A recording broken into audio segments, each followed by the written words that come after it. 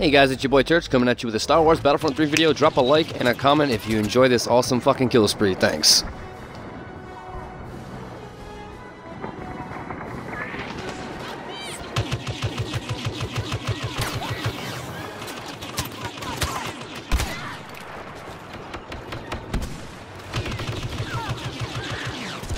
The escape pod will soon be under Imperial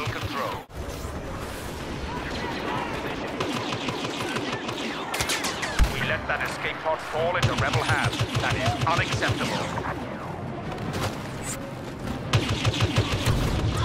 Another pod is down. Move on that it.